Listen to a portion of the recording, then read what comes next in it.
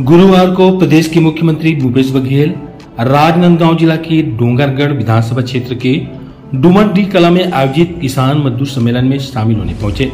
इससे पहले सिमरा दहिहान में स्वतंत्रता संग्राम सेनानी ठाकुर प्यारेलाल सिंह की प्रतिमा का अनावरण किया।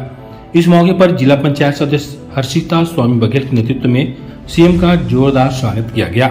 इस दौरान सैकड़ों की संख्या में महिलाएँ, पुरुष और युवाओं ने सीएम भूपेश बघेल जिंदाबाद के नारे लगाते हुए सिमरा दहिहान के प्रवेश द्वार में ही जोरदार स्वागत किया, जहाँ किसान मजदूर सम्मेलन कार्यक्रम में तिरानवे करोड़ इकसठ लाख पचहत्तर हज़ार रूपए की लागत के 112 विकास कार्यों का भूमि पूजन एवं लोकार्पण सीएम के द्वारा किया गया, जिसमें संतावन करोड़ सैंतीस लाख अठहत्तर हज़ार रूपए की लागत के अंठानवे विकास कार्यों का भूमि पूजन तथा 36 करोड़ तेईस लाख संतानवे हज़ार रूपए की लागत के 14 विकास कार्यों का लोकार्पण शामिल है।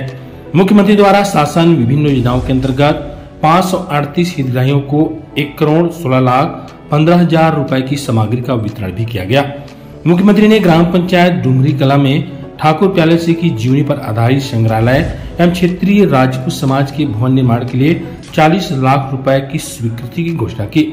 शासकीय महाविद्यालय ठेलकाडी का नाम, स्वतंत्रता संग्राम सेनानी ठाकुर प्यारेलासी के नाम करने की घोषणा की।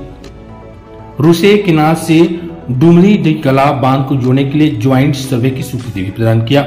खाद गोदाम के निर्माण तथा यादव समाज के भवन के लिए भी 10 लाख रुपए की घोषणा की।